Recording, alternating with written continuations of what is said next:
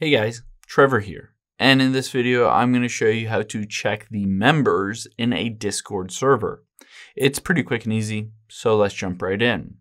Now, of course, I'm going to open up the Discord app here. I'm on my iPhone. You can do the same steps if you're on an Android, or if you're on a computer, you can do it on Discord as well.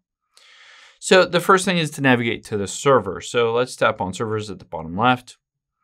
And here I'm on the YouTube business server. The thing is, you want to choose or select a specific channel within that that has every single member. So some of these towards the bottom might basically have some, but not all. And usually you want to find one that says like welcome or rules or announcements. Let's tap on welcome. Essentially, every single person that joins this server will basically attend or be part of this channel.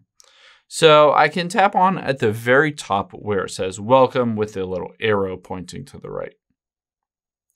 Now, the cool thing you can see under search, it says members and it says gold members, silver members, 17, bronze is 23, five bots, online is 102 members, but then you can keep scrolling past all of this and you'll be able to see every single other member.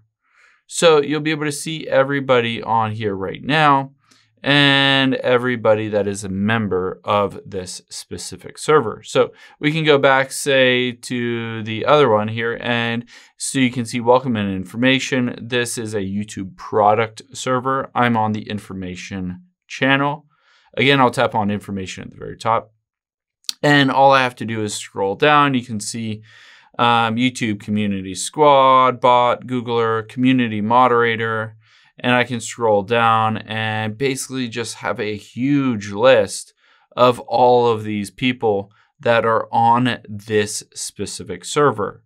So if it's a smaller one, of course it's a smaller list. If it's a case like this, it's many thousands of users that are on this specific server. I hope this helps. If it did, hit the subscribe button down below. It really helps me out. And I'll catch you on the next one.